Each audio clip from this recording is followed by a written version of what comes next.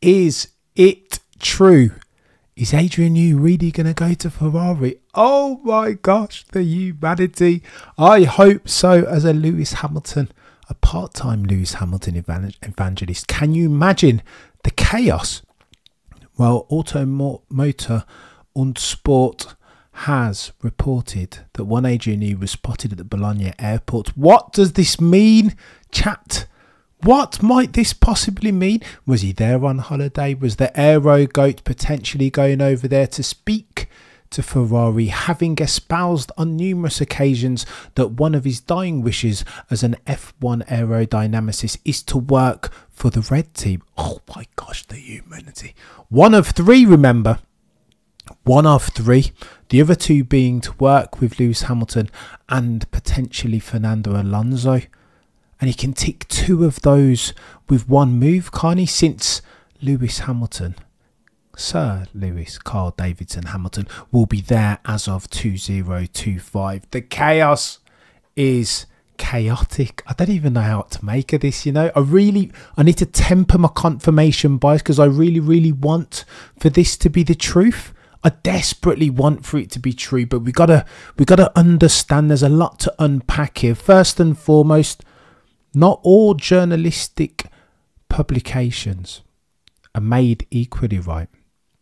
Some you've got to some you've got to give them their credence. Some you can trust. Others are just internet journalists. Auto Motor und Sport as a German publication is one that you can trust. If they publish it, take that to the bank. So I'm not even going to question whether Adrian Newey was indeed spotted at Bologna. You can take that to the bank super reputable source.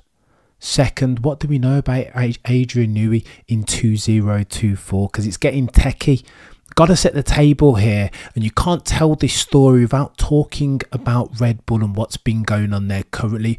Auto, Auto Motorsport, Auto Motor und Sport tell this story in their article. Hitherto, Christian Horner's allegations has been an absolute bombshell at an otherwise stasis team. Nothing was going to change. Everything was hunky dory. Dominance and success breed dominance and success. Everybody was super relaxed. You hear Max Verstappen in the car. He sounds each and every single time he comes over the radio as if he's having a Sunday afternoon drive. Everybody's super relaxed. Christian Horner has his shoulders back. He is, of course, in his pump until the bombshell drops that these allegations have absolutely could potentially destroy the stasis, the peace and tranquility that was Red Bull as at January 2024. What happened since? Well, we know that there are two factions at Red Bull. On one side, you've got Max Verstappen, Helmut Marko, Jos Verstappen. You've got the guys and girls from Graz, Austria, being Oliver Mintzlaff and Mark Mateschitz. Dietrich, the former, not long deceased CEO of Red Bull there on one side. On the other side, you've got Christian Horner and the Thai 51% owners, the Yavidra family, who, of course, as Christian Horner is Red Bull team principal, the Yavidra family feel they see Christian Horner as an adopted son. But for that, I would bet my life that Christian Horner would no longer be team principal. They would have got rid of him because Austria, Mintzlaff, Mateschitz, desperately wanted to. And again, on the back of all this stuff that's going on in the background, right? Being, lest we forget, Christian Horner desperately was trying to raise finances, consulting with various different British financiers around potentially taking F1 technology offline, outsourcing. Lest we forget, chat. Thank you so much, NC Paddock. I'll get to in short order. Lest we forget that the Thai owners, the 51% Yavidra family, they said that they saw just cause upside potentially from a Red Bull group standpoint to siphoning off the F1 technology arm. Ultimately, what does the F1 technology arm if you have if you hive them under the same parent what does that do necessarily for the marketing value of the energy drinks company? You could argue not so much right? So why not de-risk the org structure and allow Christian Horner to raise his finance and do what Toto Wolff did and become team principal as well as share owner That's what Christian Horner wants to do. He hates, detests Toto Wolff because he wants what he has more power, more, more visibility, more influence. There you go. That's the word that I'm looking for. Christian, in a sense, was you criticise Toto Wolff for being a finance guy, a billionaire finance guy mind. Christian wants that for himself. Hence the plans to try and spin off Red Bull F1 technology as a separate entity from Red Bull, the energy drinks company. The Tayuvidi family were on board. But now, all of these allegations throws a massive spanner into those works. Nawal, you're far too kind, and I will come to them. I promise you. I promise you. Go on then. What else do we need to know? On the back of that, Max Verstappen now has a secret clause in his contract saying that if Helmut Marko leaves, then I can too. My contract is null and void. And that, ladies and gents, changes absolutely everything. If we all put our Adrian Newey cap on for a second, all he cares about is the ability to hunker down and focus and design a god tier level car. All of that other stuff is lost in the roundings from as far as he's concerned. Lest we forget at Williams, the best thing that Frank Williams ever did was appoint Patrick Head. This isn't me talking, this is Peter Windsor, the legend that is, and he was around at that time managing one Nigel Mansell in appointing Patrick Head. What you could do, what that allowed Adrian Newey to do was silo focus on the aero and technical aspect of designing himself a god tier level machine. He doesn't need to be distracted by internal politics or things, other things that he's not concerned with. Leave him alone and he'll design you an era defining car. That's what Frank Williams, that's why Frank Williams even appointed Patrick Head, and that allowed Adrian Newey to get on with what he was getting on with, right? Hence why he designed one of the most advanced, still probably the most advanced car that we've ever seen in F1 in the FW14 Williams 93 94, God tier level cars, championship winning in effect, 92 93 even. Mansell and Prost. Fast forward though, what did he do after that? Joined McLaren, and again, 99, 98, championship winning. Take that to the bank because he's God tier. He's an absolute god tier aerodynamicist, is Adrian Newey. And let me parlay back for a second because if you read the book, How to Make, How to Build a car. He tells you all the bloody tricks and secrets. I'm surprised that Mercedes haven't stolen from that playbook yet. 1988, the Leyton House 881 if you want to understand the mindset of one A Adrian, you just need to go and read the bloody book. He he went to university and did ground effect as his thesis in sports cars for crying out loud. Hence why there is no one as at 2024 that's more valuable, even including one Max Max Verstappen. Your MVP currently on the grid in 2024 is Adrian. If you can get him, that unlocks the secret to ground effect cars each and every single time.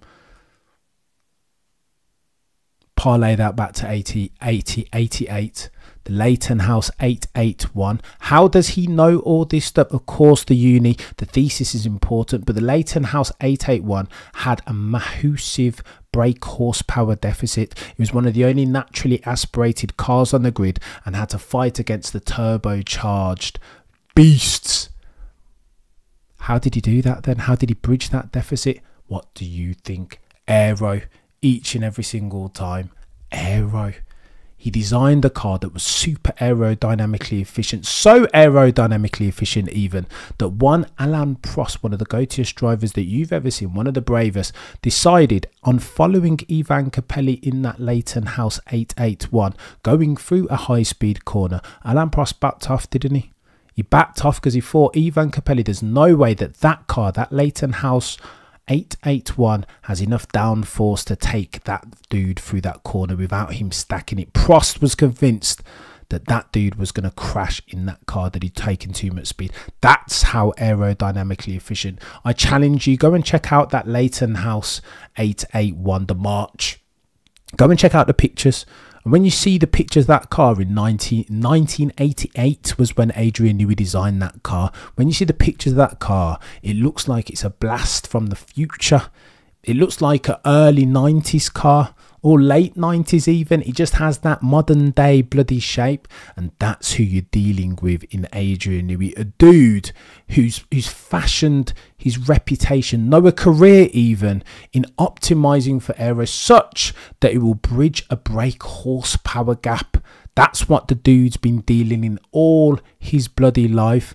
Fast forward to McLaren, goes a bit ambitious, designs a car that's not necessarily the most reliable in 98, 99 and early 2000s, but nevertheless can get it across the line. 2005 joins Red Bull again. He's had enough of micromanaging, which is exactly what he was done or what he was on the receiving end of courtesy of one Ron. Then he's had enough. 2005, Christian says, Come over here, man.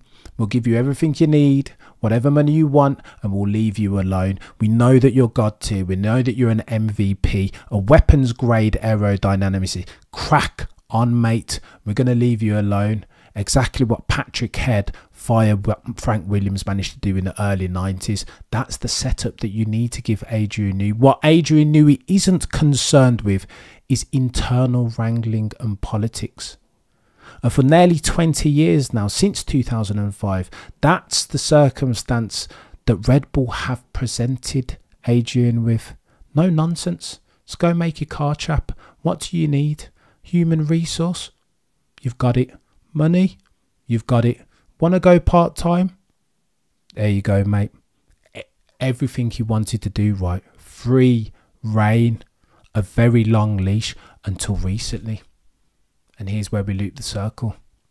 Because what Adrian doesn't want to be concerned with is internal politics. He has no time for that. Indeed, he has a good knack of timing when teams are going to descend into this sort of stuff. Financing. Left IndyCar at the perfect time as they were about to become spec cars. Similarly with McLaren. Similarly with March, as he knew, he realised that they were about to go bankrupt. So he spots this. He's got a, a very strategic ear for these type of things.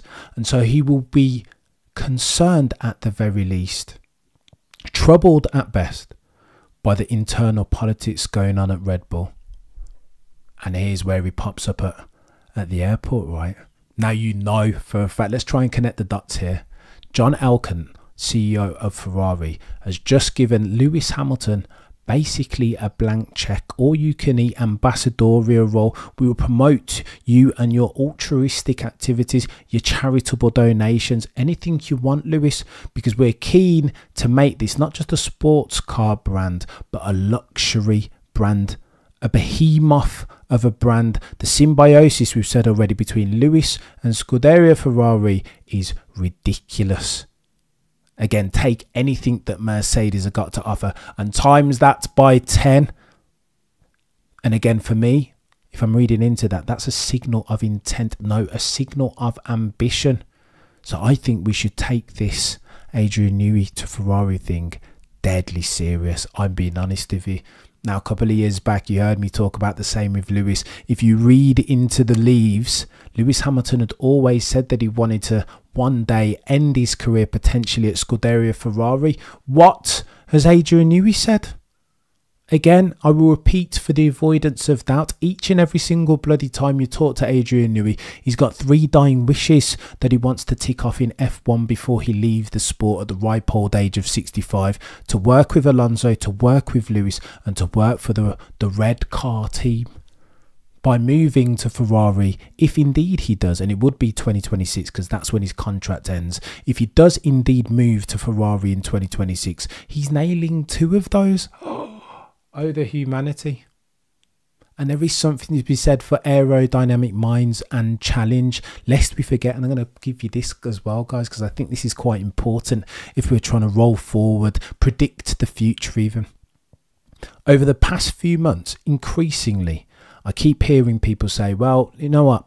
Adrian contributes but he's not the sole contributor. And I think that that diminishes the contribution of one Adrian Newey. Now, of course, he has a team around him, a team of minions that will support him and institute his ideas. But to say that he's not the fact controller per se, that he's not the man holding the red pen ultimately, I think is to do Adrian Newey, the goatiest aerodynamic mind in the business, a massive disservice. And I think Adrian Newey will be listening to that sort of stuff that Christian Horner keeps trotting out on many an occasions now. Max Verstappen keeps saying the same thing, right? Yeah, yeah, it's good that we've got Adrian, Max will say. But also, lest we forget that Adrian has a team around it. It's not just Adrian. We have a great team of aero boffins. Max said that over the past couple of weeks, and Adrian Newey would be listening to that. You know, I know. Post the Japanese Grand Prix, he said something similar.